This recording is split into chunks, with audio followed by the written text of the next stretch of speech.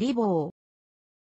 リボー。1952年から1972年は1950年代中頃に活躍したイタリアの競走馬、シュボバ。20世紀を代表する名馬の一頭で、20世紀のヨーロッパ記録となる16戦無敗、外戦門賞連覇の成績を持つ。引退後は、種ボバとしても成功した。平地競馬があまり盛んでないイタリアで、20世紀、イタリアのスポーツ選手第4位という高い評価を得ている。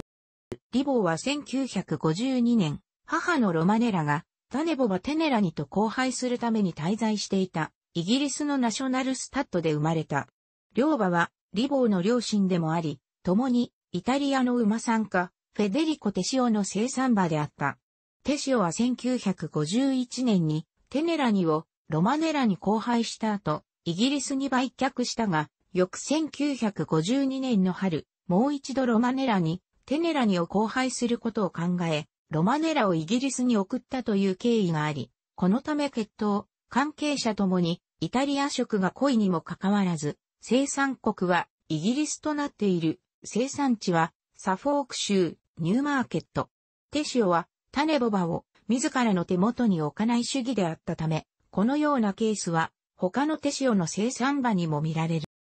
イギリスでの短い滞在の後、すぐにイタリアに渡ったリボーだったが、子馬の頃は大変小柄で、牧場でのあだ名はイタリア語で、ちびっこの意を指すイルピッコロというものであった。テシオも、その資質と優れた馬格は、ボンバのものではないと素質を認める一方、小柄だったためクラシック登録をしなかったとされる。また、若い頃は、人懐っこく物を隠すなどいたずら好きな側面も見せていたという。テシオはこの子馬に、フランスの画家にちなみ、リボーと名付けた。ちなみにテシオはリボーについて、将来一角の馬になるだろうと予言していたが、リボーがデビューする2ヶ月前に死去した。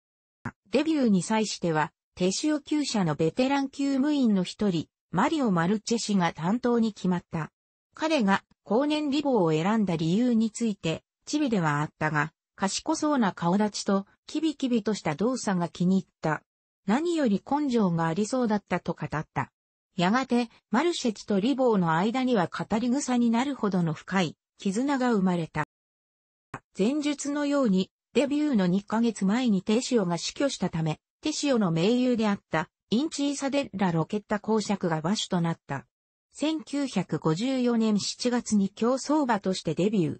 序盤からスピードを全開にする双方で2連勝を飾った。3戦目のグランクリテリウムでは、騎手のカミッチがそれまでと同様のレースをしてはスタミナが持たなのではないかと懸念し、前半スピードを抑える競馬を試みたが、自身の思い通りに走れないリボを苛立たせることになり、その影響から、生涯最小の記差である頭差での勝利を経験している。クラシック登録がないリボー陣営は目標を小手塩の悲願だったフランスの凱旋門賞に定め、ステップレースのベサナ賞では後のイタリアのセントレジャーステークス優勝馬デレイに10馬審査をつけて干渉し、フランスに遠征した。凱旋門賞では2番手を追走。最終コーナーで先頭に立つとリボーはそのまま後続を引き離し、ゴールではボープリンスに3馬審査をつけて余裕の勝利を決めた。しかもこのわずか2週間後にイタリアの大レースジョッキークラブ大賞で前年の勝ち馬ノルマンを相手に15馬審査で、利している。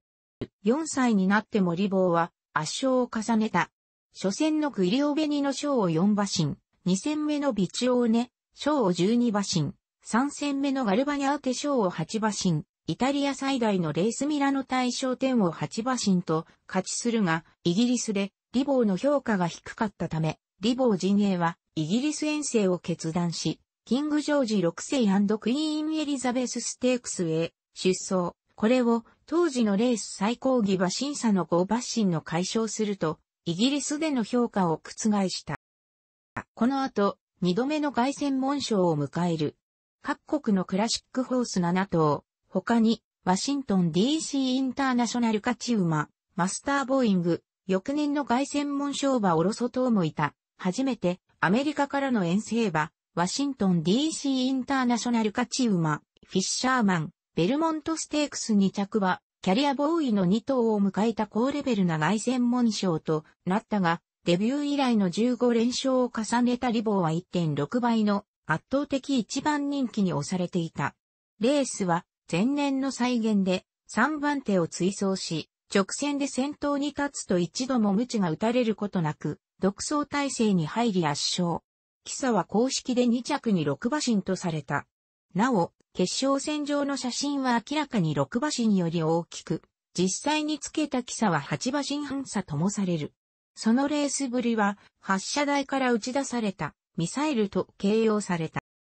種ボバとなったリボーは最初イギリスのダービー伯爵の元で供用され、翌年から2年間イタリアのオルジアタ牧場で供用された。その後、アメリカのダービーダンファームへ5年間のリース契約ながら135万ドルという史上最高価格が提示され、アメリカに渡った。アメリカに渡ってからのリボーは、環境の変化と加齢のためか、若い頃の人懐っこい性格は姿を潜め、非常に扱いづらい性格へとなっていった。そのため、5年後にイタリアに戻る予定が、渡航の危険性から保険の引き受け手が見つからなかった。ダービーダンファームは5年間のリース期間延長と引き換えに追加で135万ドルを支払った。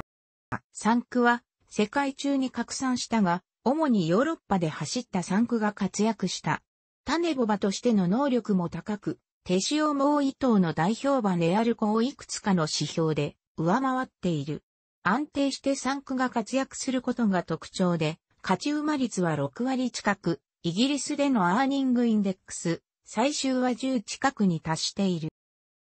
後継シュボバは、さほど大きく広がらなかったが、一時はトム・ロルフが孫の代にアレッジド、アレジド、リーボン以来の外専門賞連覇を達成を出し、グロースターク、ヒズマジェスティ兄弟も種ボバとして活躍した。21世紀以降は、衰退傾向が強く、ヒズマジェスティの子孫を中心に少数が北米に残るに過ぎない。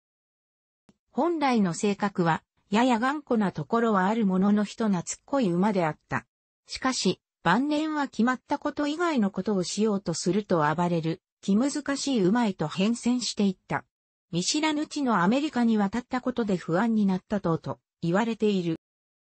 小馬の頃は小型で、イルピッコロ、チビッコと呼ばれていたが、引退時の計測では、体高162.6センチメートル、脅威188センチメートル、久高濃い20.3センチメートルにまで成長し、賢そうな顔と力強い後ろ足が特徴的な競走馬になっていた。体高は平均より高く、体重は軽かったと言われている。父方母方ともに3代にわたってて塩の生産場、または購入場で占められる手、塩の集大成のような血統構成となっている。手塩は自身の生産した種母馬をあまり用いず、繁殖牝馬もメス系を育てる一方、毎年多くの馬を購入することで目まぐるしく変えていたため、このような血統構成を持つ馬は他にあまり見当たらない。特に父系は4代にわたって手塩の生産となっていて、起点となる祖祖父、カバリエーレ・ダルピーノは、生前のフェデリコ・テシオが生涯最良と評価していた馬である。楽しくご覧になりましたら、購読と良いです。クリックしてください。